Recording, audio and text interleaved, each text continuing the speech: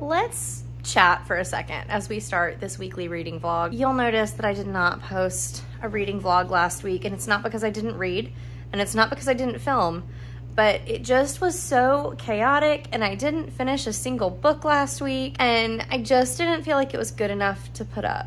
And Kitten, you agree with me, right? Right.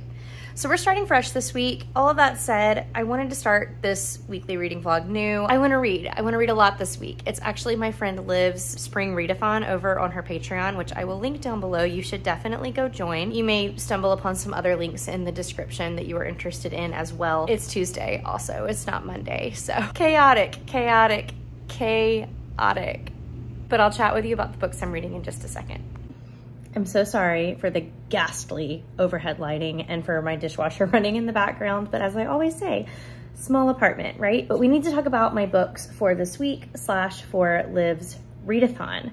So I've only started one of these and I can't even remember the prompts right now. So, oh well. But the first one that I'm reading is The Familiar by Leigh Bardugo. This has been one of my highly anticipated reads and I've actually already started this one. So I'm four chapters in. I don't even know what page that would be. The pages in this book are so white. Is that just because the cover's black? Okay, so I'm like 30 pages in. I thought I was further than that. Oops. But I'm really enjoying it so far. This is a very slow very quiet book so far, and there's nothing wrong with that.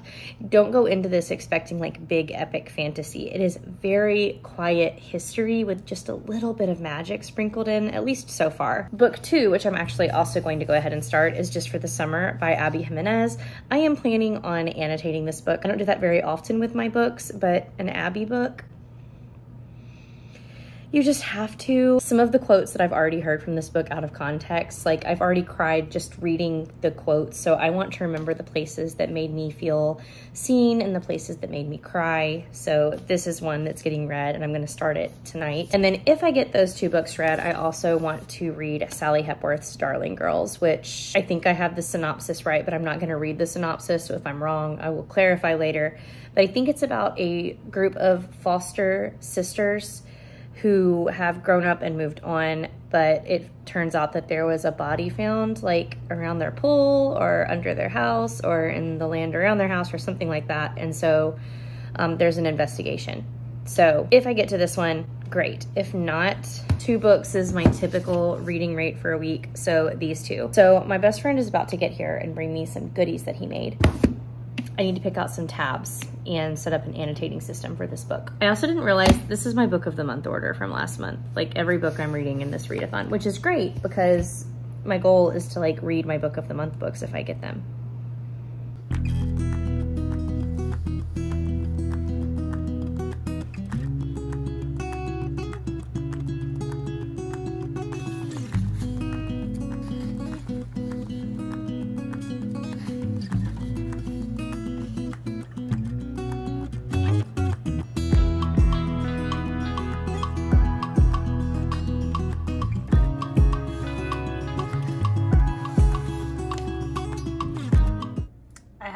Y'all what Brent brought me.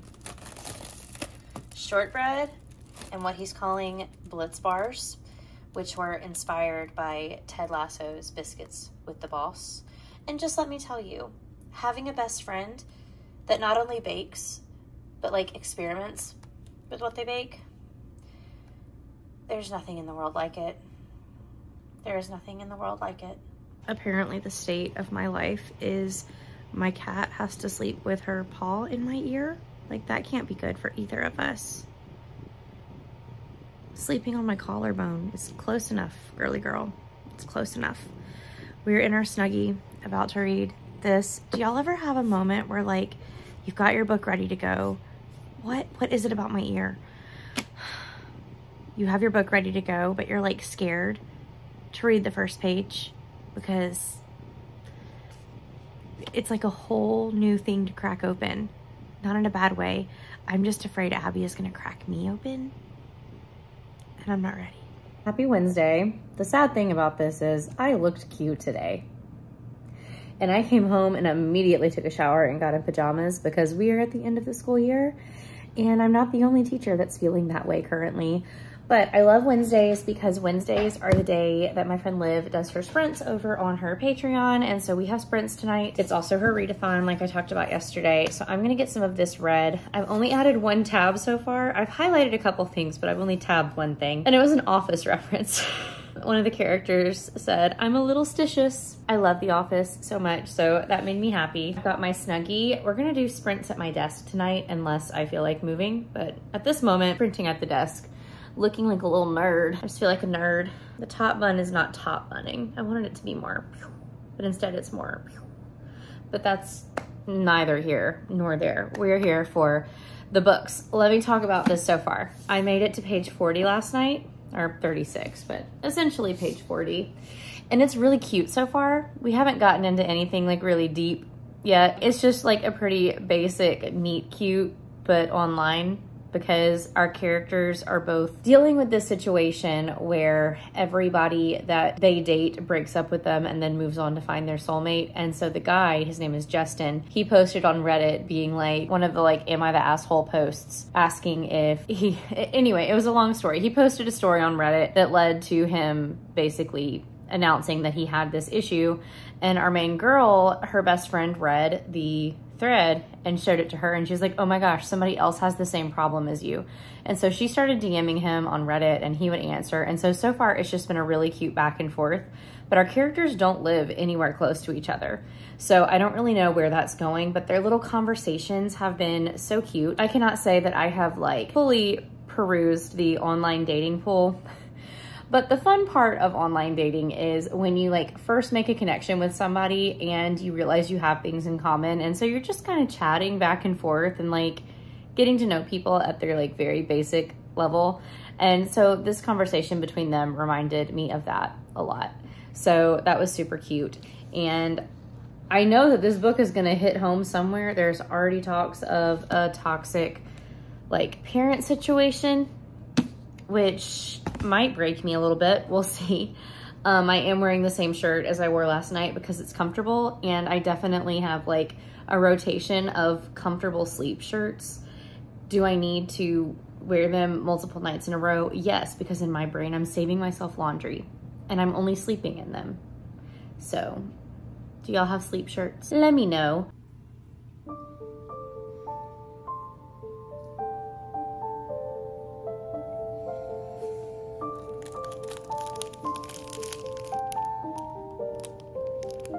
Something I have to say about Funny Story is that we're following our main character who is a travel nurse. Her name is Emma and her best friend is a travel nurse with her named Maddie. And I just have to say, at least this far in the book, like Maddie is an incredible friend.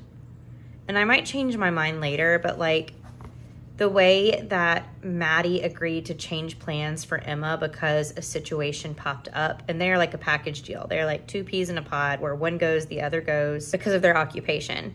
Um, they do this together. And so they pick places together, they plan out where they're going to go together, and a change in plans for one of them means a change in plans for both of them. And like right now, she is just an example of a beautiful, wonderful, powerful friend. I hope that that does not get compromised in this book because it's really refreshing to see. And I, I, hope that that isn't just something that like this book skirts over because it deserves to be applauded that this girl is as wonderful as she is. Abby lets you know up front in this book that there's going to be talks of toxic parents and um, page 102 to 103. It was like there was no peaceful place to exist, no emotional safe space. I could have chaos or I could have worry. I could be in the tornado or I could be in the eye. But I could never be out of the storm. It was so, so exhausting to live this way, and I had always lived this way because when it came to my mother, I didn't know how to not care. I never felt calm except for the fleeting time her perfume was strong and I knew she was okay, but I am never really okay. I know I'm giving a lot of updates from the same spot, but this is where I'm reading tonight and I have a lot of feelings, okay? Y'all don't like know me, know me, and y'all don't know like what I've been through and what my life is like. But something that I will go ahead and tell you is I do spend a lot of my holidays alone because of my family. And it's really hard being somebody that loves holidays and loves traditions knowing that like you're probably going to spend the whole rest of your life. Wow, I'm getting emotional. That you're going to spend the whole rest of your life chasing the feelings of what you loved as a child, but will probably never get to experience again. Does that make sense? Um, and so here's another quote. I promise I'm not going to read the whole book to you, but I knew that feeling the feeling that you're getting back a piece of your childhood, like at Christmas when mom would hand me a tin of cookies and I'd be catapulted back to six year olds eating them with dad in front of the fireplace. I deflated again, remembering what this Christmas was going to look like, and the Christmas after that, and the Christmas after that. Wow, it's actually like a super therapeutic experience reading this book. I know it's a love story, but like I'm getting a lot out of it, and I decided to like tab it but I also decided to just kind of annotate and write my feelings down as I'm reading it. And y'all, it's like I'm journaling through the book. I've not had an experience like this before. I'll do just like a quick little flip through. I won't give like spoilers or anything, but like I'm just writing thoughts down as I go and like relating them to my life and it's very therapeutic. I love books. I'm already crying. I'm already crying. my little payday tradition is that when I get paid, I get Pokestop, and it just makes me so happy. Happy Friday night, guys. I haven't updated at least in one day, maybe two days. I don't remember, but I am making progress in my books and that's exciting. Hey kitten, y'all hear her? my bed's a mess, but she's here for the head scritches. Anyway, I am, I think 48% through The Familiar, just kind of bopping along and listening to the audiobook whenever I feel like it. It took a while to grow on me, but I think we're finally at a place where I am like genuinely interested. I won't say hooked, not like the way that Ninth House hooked me, but I'm interested. And I did not realize that there was kind of a competition aspect element to this book. It leans into a lot of things. It kind of feels a little gothic. It kind of feels a little bit spooky, but like you can't tell if that's just your brain making it feel spooky or if it's supposed to. Definitely leans into European politics and history. and it leans into a lot of discussion on religion. And then when it comes to just for the summer, y'all, I did my own sprints last night just because I needed some extra motivation. And I'm now over halfway through that book. I'm actually about to get in bed and see if I can finish it tonight. But the, it's a book about grown adults. And what I'm going to say might not sound like I'm liking it, but just hear me out. For anybody that had like someone that they fell head over heels for, like in high school when love is young and innocent and fun and like you get the giggles when you get a text from that person or that person you know gives you a hug for the first time. Our male main character is that. Like, he is the embodiment of just like wholesome, pure, like first love. And it is so sweet. It is making me just like kick my feet and giggle I think I've written like cinnamon roll beside his name 50,000 times. And then our girl is much more reserved. She's basically lived her whole life out of suitcases because of her family situation. And then when she grew up, she never stopped that. And so she is used to leaving and running and not getting attached. And seeing these two dynamics in a relationship that's more or less a fake relationship, but you can tell that neither of them wants it to be fake, but they're reacting to that in very different ways. Like he can't bear to see the end, and then she is blinding herself to the fact that this has to end, even though it is probably the most perfect romantic situation she could imagine herself in. And I don't know where it's gonna go. It's just, it's really sweet and really fun. It has a lot of humor in it so far. Abby just does it she just does it. So I'm gonna read a little bit more and then y'all tomorrow, I think we're going book shopping because I do need to get a couple of books. I said I was gonna try and slow down on the book buying. and I am, but I do have like book clubs and stuff. One of my in-person book clubs picked the book The Husbands for this next month. And then in one of my Discord groups, we are going to start doing like a Sisterhood of the Traveling book thing where we each annotate a book that got voted on. And then the next month we mail it to the next person and they add their annotations. So at the end of it, the book that like you started with, you get back with everybody's notes in it. And I just think it's gonna be a lot of fun. And that's the book that got chosen from my poll. So I need to pick that book up and then um, Emily Henry's book. I did not go get it on release day because this week has been insane.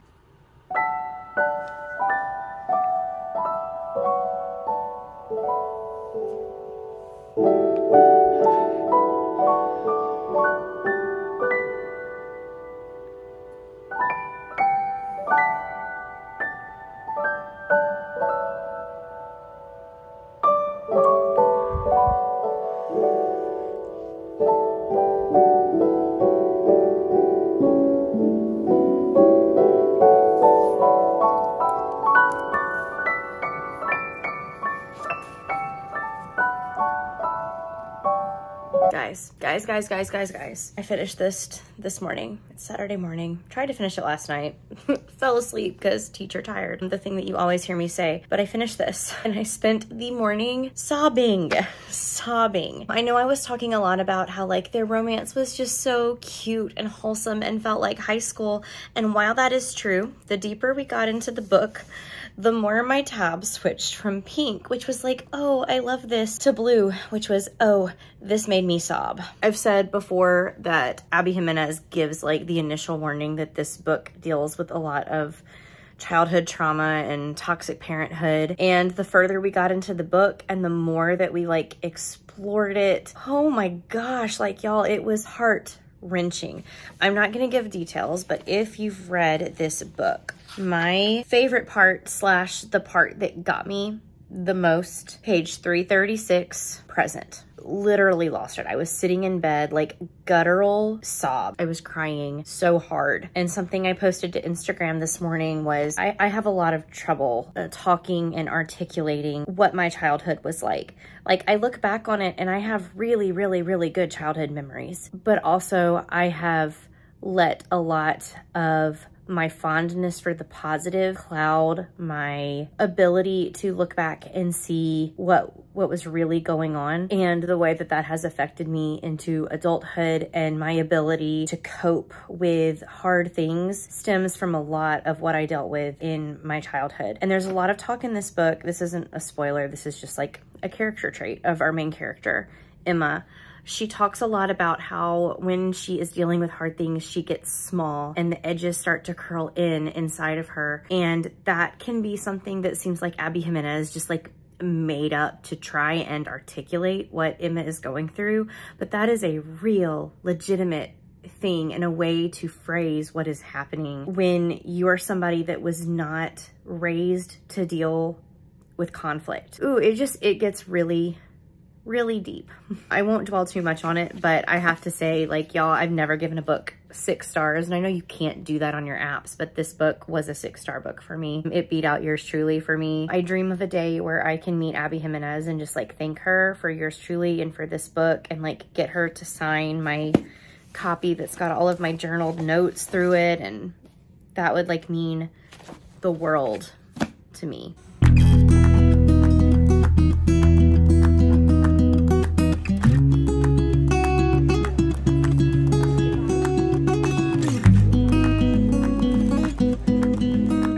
Myself because I only got the two books I needed in there. So first of all, I got my in-person book club pick, which is The Husbands by Holly Gramazio, I believe is how you pronounce her name. So this will be a fun read. And then I could not walk out of the store without Funny Story.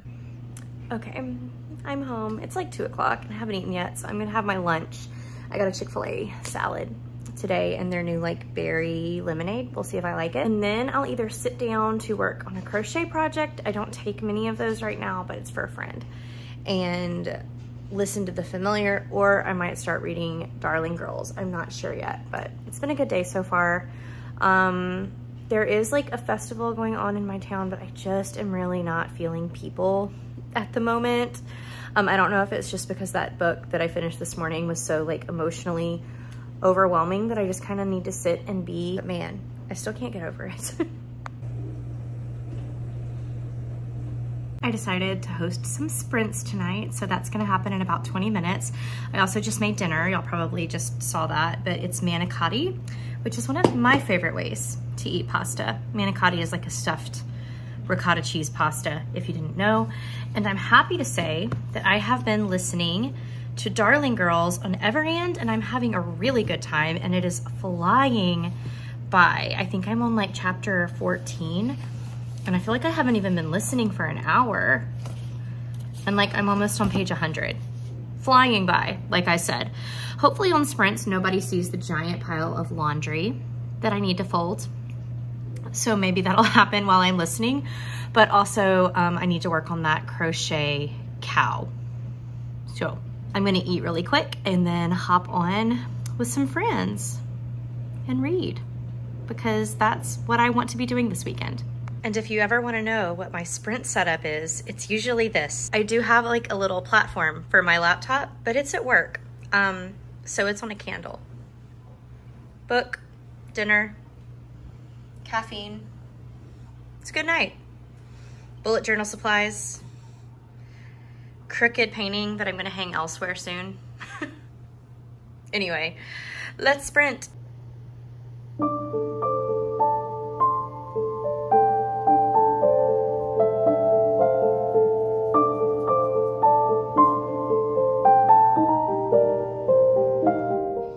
Howdy friends, happy Sunday morning. I'm here to wrap up the vlog because I finished Darling Girls last night. Got on sprints, a few friends there read with me for close to five hours. Some people stuck in the entire time, some people popped in and out. But if you were there for all five hours with me, you were the realist. I will show you the crochet project I was working on while I listened to this, but he's not quite done yet, so I don't want to show him off yet. But yeah, one sitting for this book. Listen to it in like under five hours. I was talking on there a lot about how it takes a lot for a thriller to be like a four or five star for me because I've read so many of them and you just start to recognize the commonly used tropes and thrillers and you're just able to predict things.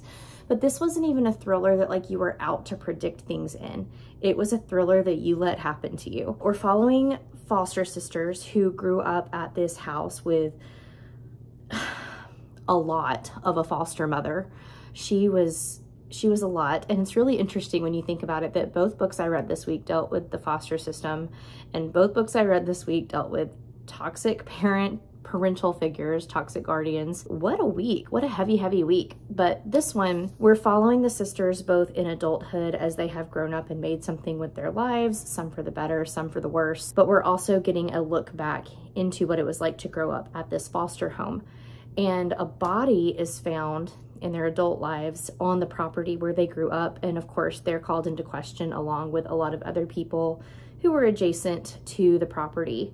And it's a character study. It is a look at a lot of like mental things.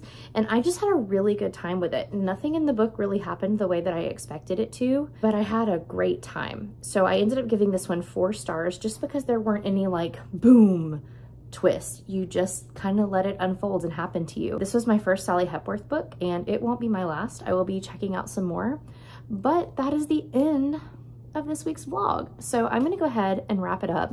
If you watched the whole vlog this week, I know I was like looking chaotic and tired all week and I filmed a lot in the same spot, which is something I try not to do. Um, but if you stuck with me the whole time, Thank you. I promise it's not this chaotic over here all the time. We're just at the end of the school year and it is like walking up a mountain some days to get everything I want to done. So thank you so much for supporting me. And like, this is definitely like my outlet. And if I don't show up looking 100% or articulating my thoughts 100% on here, it's not because I don't care about y'all. It's because I want to be here even when I'm having those really, really hard days. But like I said, if you watched all the way to the end of this video, there's two different emojis that you can leave me. You could leave me a sun for just for the summer, or you could leave me anything that has to do with like a swimming pool or swimming because of the cover of this book, Darling Girls. I love you so much. Thank you guys for hanging in there with me. We are almost at the summer. As always, my social media is linked down below. I will see you in another video very soon. Bye guys.